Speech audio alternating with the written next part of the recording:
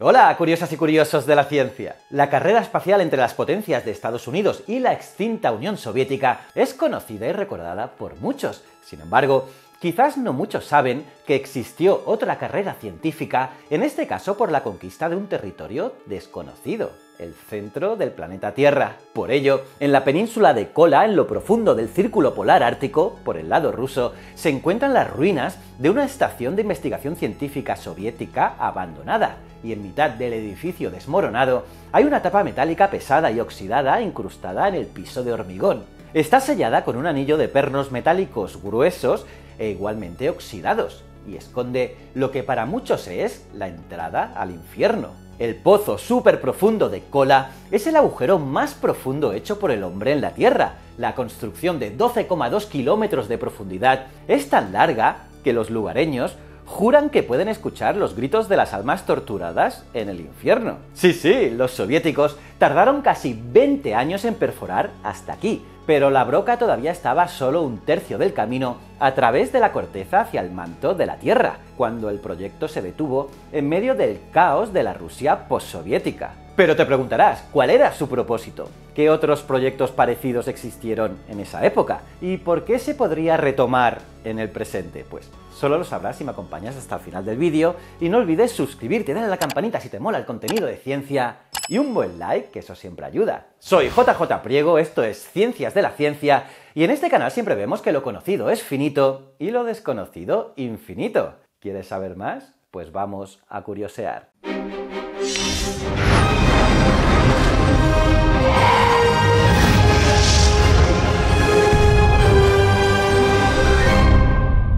Como te contaba al inicio, durante la Guerra Fría, hubo una carrera entre las superpotencias para perforar lo más profundo posible en la corteza terrestre, e incluso para llegar al manto del planeta mismo. Y si la Tierra es como una cebolla, entonces la corteza es como la fina piel del planeta. La corteza continental tiene un grosor medio de 35 kilómetros. Más allá de esto está el manto, y más allá, justo en el centro del planeta, el núcleo. Y entonces, la carrera para explorar esta frontera profunda desconocida fue una demostración de la destreza de la ingeniería y la tecnología punta, y es que los científicos iban a donde ningún humano había ido antes, y las muestras de rocas que estos pozos superprofundos podrían proporcionar eran potencialmente tan importantes para la ciencia como cualquier cosa que la NASA trajera de la Luna. A finales de la década de 1950, la American Miscellaneous Society ideó el primer plan serio para profundizar en el manto. Esta sociedad, convertida en un club de bebidas, era un grupo informal formado por las principales figuras de la comunidad científica estadounidense. El plan se llamó Proyecto Mojole, por la discontinuidad de Mohorovicic, que teóricamente separa la corteza del manto. Pues bien, en lugar de perforar un hoyo muy pero que muy profundo, la expedición estadounidense decidió tomar un atajo a través del fondo del Océano Pacífico frente a Guadalupe, en México, ya que la ventaja es que la corteza terrestre es más delgada allí, pero la desventaja es que las áreas más delgadas de la corteza suelen ser donde el océano es más profundo. Y pensad una cosa, cuando en 1961 el proyecto Mojole comenzó a perforar en el lecho marino, la perforación de petróleo y gas en aguas profundas aún estaban muy lejos. Nadie había inventado todavía tecnologías esenciales como el posicionamiento dinámico, ese que permite que un barco de perforación permanezca en su posición sobre el pozo.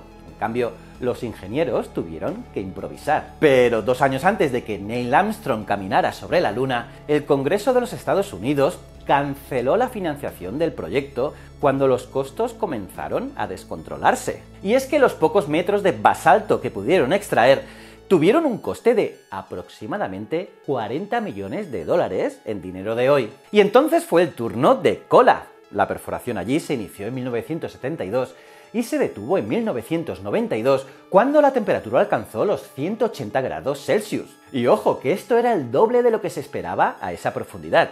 Y ya no era posible perforar más profundo. Tras el colapso de la Unión Soviética, no había dinero para financiar tales proyectos.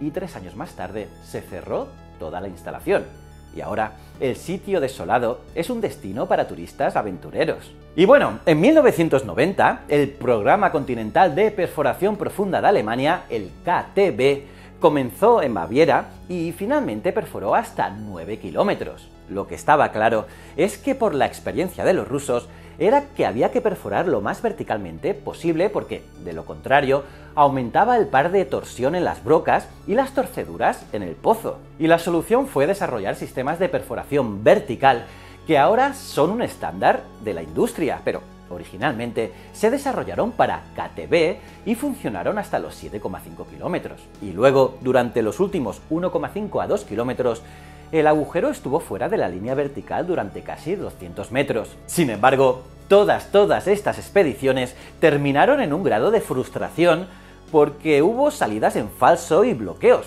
Y luego estaban las altas temperaturas que la maquinaria encontró en las profundidades del subsuelo y, como no, también el coste y la política, todo lo cual puso fin a los sueños de los científicos de perforar más profundo. Eso sí, el pozo alemán se ha salvado del destino de los demás, ya que la enorme plataforma de perforación todavía está allí y hoy en día es una atracción turística, pero la grúa solo baja los instrumentos para la medición.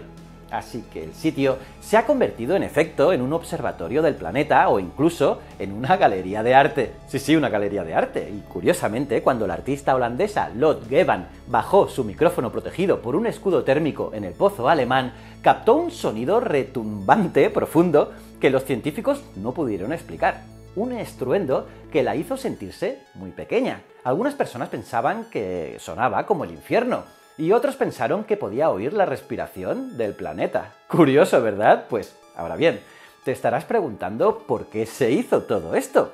Pues, hay algunas razones por las que los humanos cavamos profundamente en la Tierra, como por ejemplo para extraer recursos como combustibles fósiles y metales, pero además, claro, cavamos para la ciencia. Por ejemplo, los experimentos que buscan neutrinos. Sí, sí, los experimentos que buscan neutrinos necesitan una excavación muy pero que muy profunda. Y es que estas partículas que siempre han sido muy misteriosas porque son muy difíciles de detectar, es una partícula elemental subatómica que tiene una masa muy pero que muy pequeña un spin de un medio y no tienen carga, por eso se llaman neutrinos, porque son neutras. Y claro, con estas características es muy raro que interaccionen con la materia, y por eso son tan complicados de encontrar, ya que atraviesan la materia igual que la luz atraviesa un cristal. Y como tienen esa masa tan pequeña, de hecho al principio se creía que no tenían masa, se mueven a velocidades cercanas a la de la luz.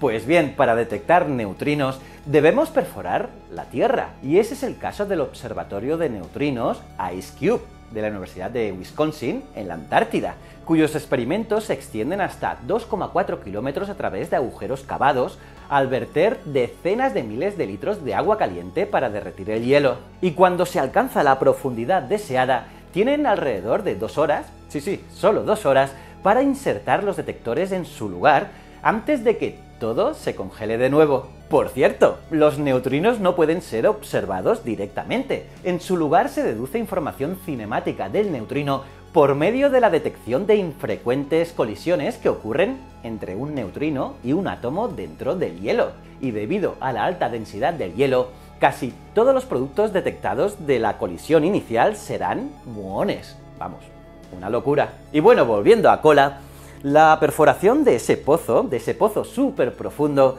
fue en su mayor parte puramente impulsada por la ciencia. Y es que los científicos soviéticos querían aprender más sobre la capa más externa de nuestro planeta, para comprender así cómo se formó esa corteza y cómo evolucionó. Pero claro, aunque la ciencia era el objetivo, todos querían fanfarronear por haber ganado la carrera hacia el centro de la Tierra, y esa necesidad no se ha pagado. Pero bueno, finalmente, ¿para qué sirvió el cola? Pues Resulta que a unos 7 kilómetros de profundidad encontraron fósiles de 2.000 millones de años de antigüedad de organismos marinos unicelulares. Y tan profundo como cavaron, encontraron agua líquida, que es mucho más profundo de lo que habríamos pensado previamente que podría existir agua. Y los científicos creen que el agua puede haber sido expulsada de los cristales de roca debido a las presiones increíblemente altas. Sin embargo, aún sabemos sorprendentemente poco sobre el interior de nuestro planeta. A pesar de la impresionante naturaleza del pozo de cola, solo penetró alrededor de un tercio de la corteza terrestre. Sí, sí, solo el 0,2% de la distancia total.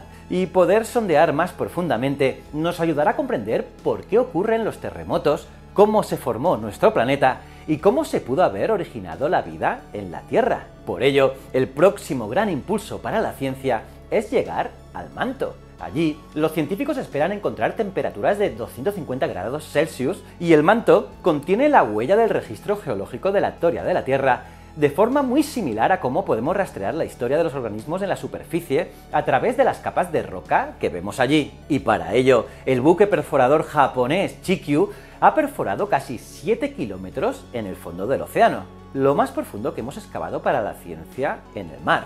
Los japoneses esperan que el proyecto lleve decenas de años y mil millones de dólares de gasto.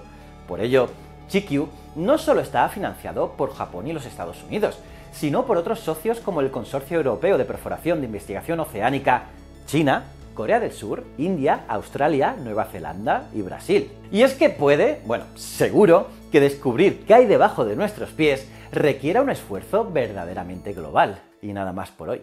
¿Qué te ha parecido? ¿Qué te ha parecido de interesante este tema? Déjame saber todo en los comentarios y no olvides suscribirte, darle a la campanita si te mola el contenido de ciencia y un buen me gusta. Y ya sabes, aquí te dejo otro vídeo que seguro que te va a gustar.